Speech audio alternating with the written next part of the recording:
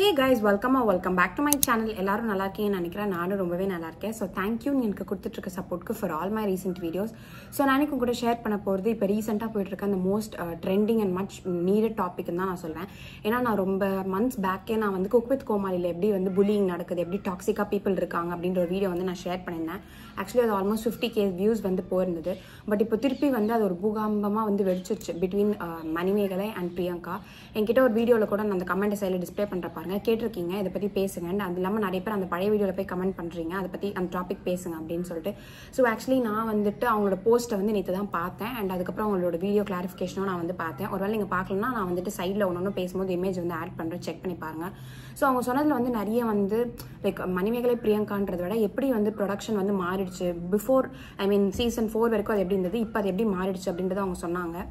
அது விசிபிளாகவே பார்த்தா நல்லாவே தெரியுது ஆக்சுவலி ஃபர்ஸ்ட் ஆஃப் ஆல் நான் அதுக்கு முன்னாடி இவங்களோட மேட்ருக்கு வந்துடுறேன். என்ன அப்படின்னா வந்துட்டு அவங்க சொன்ன கிளாரிஃபிகேஷன் படி தான் நானுமே இந்த வீடியோ வந்து போஸ்ட் பண்ணுறேன் என்ன அப்படின்னா பிரியங்கா வந்துட்டு ரொம்ப டாமினேட்டிங்காக இருக்காங்க. ஷீஸ் டேக்கிங் ஓவர் லைக் அந்த ஒரு ஆங்கர் பொசிஷன் அவங்க வந்து எடுத்துக்க பார்க்குறாங்க அப்படின்ற மாதிரி தான் மணிமேகலை வந்து இது பண்ணியிருந்தாங்க.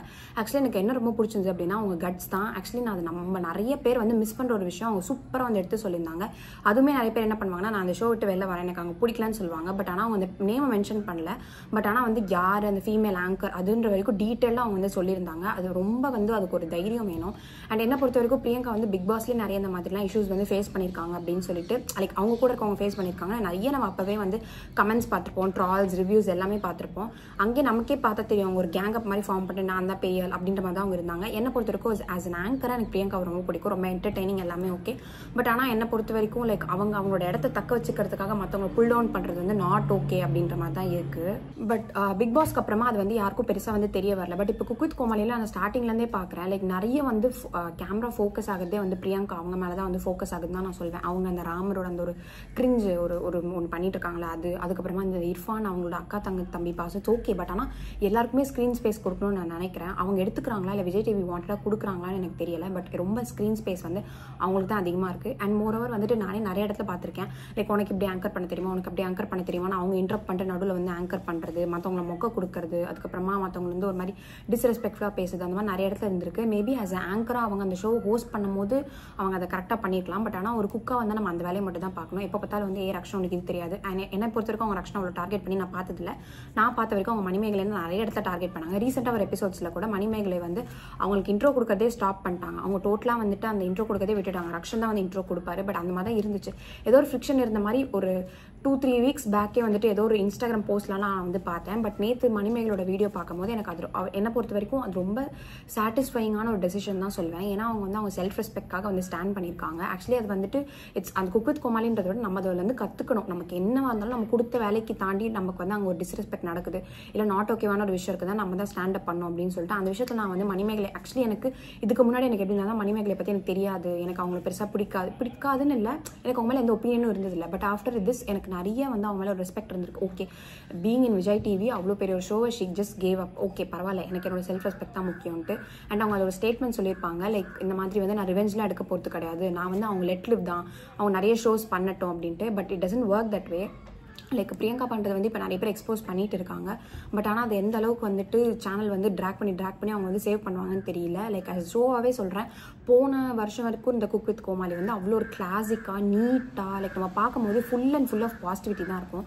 பட் இந்த சீசனில் நிறைய பேர் எனக்கு இன்ஸ்டாகிராமில் கூட வீடியோஸ் அனுப்புறீங்க. லைக் எனக்கு தெரிஞ்ச ஒரு ஐடியிலேருந்து நிறைய எனக்கு குக் வித் கோமாளி ரிலேட்டடாக வீடியோஸ் வரும். அதில் ஒன்றுத்தில் கூட நான் பார்த்தேன். இர்ஃபான் வந்துட்டு ஏதோ ஒரு பொருளை தூக்கி இங்கேருந்து அடிப்பார் ராமர் மேலேன்னு நினைக்கிறேன். இப்போ நாட் ராங் அதெல்லாம் என்னை பொறுத்த வரைக்கும் அதை எப்படி டெலிகாஸ்ட் பண்ணுறாங்கன்னே அதுக்கப்புறமா பாடி ஷேமிங் கமெண்ட்ஸ் அதுக்கப்புறமா வந்துட்டு தேவையில்லாத நெகட்டிவ் ஒரு மாதிரி எப்படி சொல்கிறது டிஸ்கஸ்டிங் காமெடிஸ் எல்லாம் வந்துட்டு காமிக்காக கொண்டு போய் காமிக்கிறேன்ற மாதிரி பண்ணுறாங்க அண்ட் அந்த ஓஜி கோமாலிஸ்க்கு வந்து இப்போ வந்து ஸ்பேஸே வந்து இருக்கிறது இல்லை வீடியோஸில் என்னை பொறுத்த வரைக்கும் எப்பயுமே இந்த என்ன சொல்கிறது பிரியங்கா இர்ஃபான் அந்த மாதிரி புதுசாக வரவங்கள தான் வந்து இது பண்ணுறாங்க அண்ட் நிறையவே வந்துட்டு அந்த ஒரு ஹெல்த்தி காம்படிஷன்ல தான் நான் சொல்வேன்.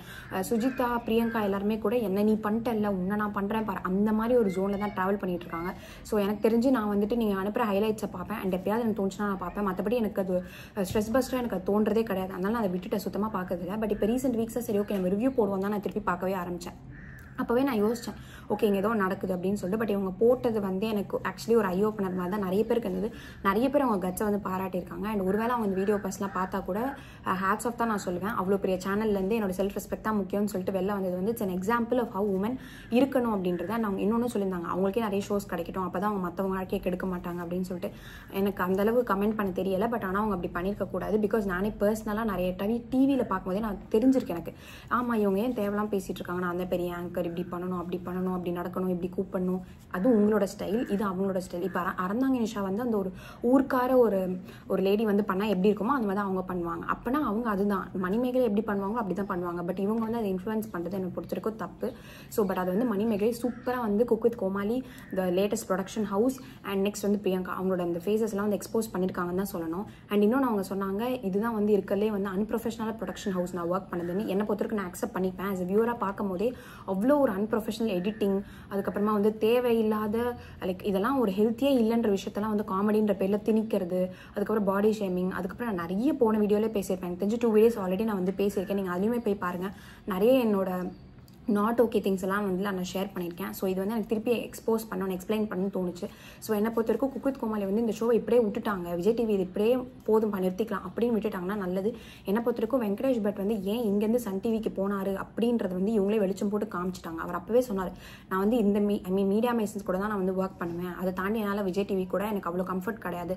ஸோ நான் அவங்களோட சன் டிவிக்கு மூவ் ஆகிறேன்ட்டு அப்போ வந்து எல்லாரும் இது பண்ணாங்க எப்படி நீங்கள் ஒரு ஷோ விட்டுட்டு போறீங்க? அப்படி அப்படின்ட்டு பட் எனக்கு தெரிஞ்சு அவர் ப்ரூவ் பண்ணிட்டாரு. அவர் ப்ரூவ் பண்ணலை இவங்களே ப்ரூவ் பண்ணிட்டாங்க. ஏன் வந்து நாங்கள் வந்து லைக் என்ன சொல்கிறது எங்களை விட்டுட்டு வெங்கடேஷ் பட் போனார் அப்படின்றது வந்து இவங்களே ப்ரூவ் பண்ணிட்டாங்க. என்ன பொறுத்த வரைக்கும் இருக்கிற பேரை நான் காப்பாற்றிக்கிட்டு இந்த சீசனோட விட்டுட்டாங்கன்னா நல்லாயிருக்கும் நான் நினைக்கிறேன் வியூவர்ஸும் அப்படி தான் நினைப்பீங்கன்னு நினைக்கிறேன். ஏன்னா நான் திருப்பி சரி பண்ணுறேன் சரி பண்ணுறேன் இன்னுமே டேமேஜ் தான் பண்ணிட்டு இருக்காங்க நிறைய பேர் இப்போ அதை வெறுத்துட்டாங்க. நீங்கள் கமெண்ட்ஸ்லாம் கீழே போய் பார்த்தாலுமே சரி போஸ்ட்டு ட்ரால்ஸ் எல்லாமே வந்து மாறிடுச்சு. அகெயின்ஸ்ட் சிடபிள்யூசி வந்து மாறிடுச்சு.